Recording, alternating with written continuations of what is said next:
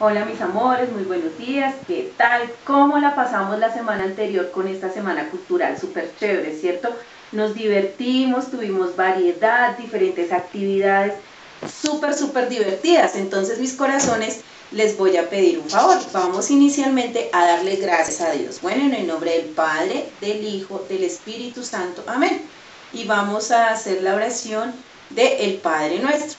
Padre nuestro que estás en el cielo, santificado sea tu nombre, venga a nosotros tu reino, hágase tu voluntad así en la tierra como en el cielo. Danos hoy nuestro pan de cada día, perdona nuestras ofensas como también nosotros perdonamos a aquellos que nos ofenden y no nos dejes caer en la tentación, líbranos de todo mal. Amén.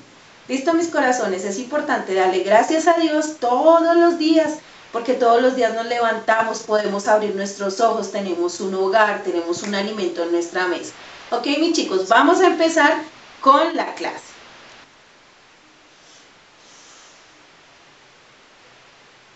Mis corazones, el tema de español para el día de hoy es los refranes. Los refranes son un tipo de poesía popular que en cada una de las regiones, en cada país o en cada zona en la que nos encontremos vamos a escucharlos. Algunos son tan populares que se han distribuido por varios países del mundo. Hay otros que solamente los conocemos en nuestro país y hay unos más, más, más cerraditos que los conocemos de pronto en algunos sitios solamente, en algunos pueblos, en algunos departamentos, en algunos eh, grupos sociales. ¿Listo, mis corazones? Entonces, los refranes son expresiones escritas en prosa o en verso. Si es en prosa, no, no va a rimar, no va a tener palabras que rimen unas con otras, pero si es en verso, sí tienen que rimar, ¿cierto? Por ejemplo, hay personas que dicen, me salió en verso sin hacer esfuerzo. Entonces, eso es una, una rima, es un verso, ¿ok?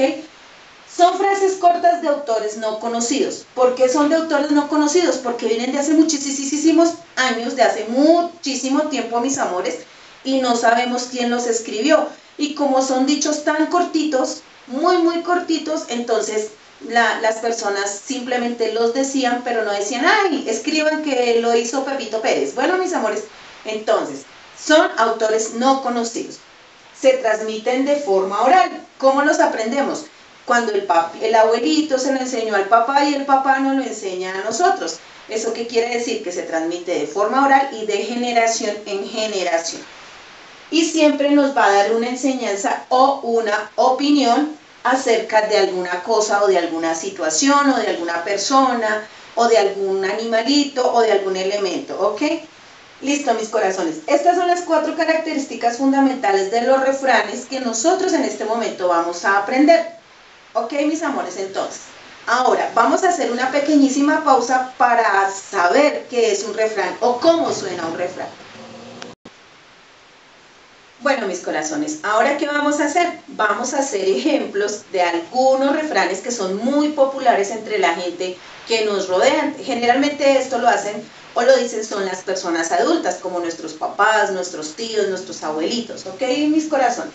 Entonces, algunos ejemplos de estos son, amigo, el ratón del queso. Ese es un refrán, amigo, el ratón del queso. Este generalmente viene de la zona cafetera. En buen trato, amigos son perro y gato. Este es un refrán súper antiguo que es originario de la ciudad de Bogotá. Este lo decían las personas anteriormente, ¿por qué? Porque como no había notarios o los negocios se hacían de palabra, entonces por eso decían que un buen trato, en un buen trato, perro y, amigos son perro y gato. ¿Listo?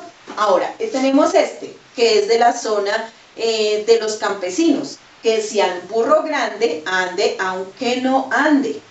¿Listo? Hay otro que es de la zona de Boyacá, que lo dicen muchos los abuelitos en Boyacá y dice que gallina vieja da buen caldo. ¿Listo? O con gallina vieja se hace buen caldo. Hay uno que dice que en boca cerrada no entran moscas. Ese sí lo conocemos por muchas zonas. Y tenemos este que es un pajarito. Y hay un dicho que lo dice no solamente en Colombia, sino en varios países del mundo, que dice que más vale pájaro en mano que ciento volando. ¿Listo mis corazones? Entonces, estos son refranes supremamente comunes entre las personas. Ahora, ¿qué vamos a hacer? En nuestra plataforma vamos a encontrar en Word un pequeño jueguito de emparejar las, eh, los refranes. Se dividen en dos frasecitas y ¿qué vamos a hacer? Los vamos a emparejar. ¿Listo, mis corazones? Vamos en, nuestra, en nuestro cuaderno a transcribir la definición de refrán y hacer el pequeño cuadro que teníamos al inicio en nuestro tablero. Bueno, mis corazones, esa es la tarea para hoy. Nos vemos en la siguiente clase.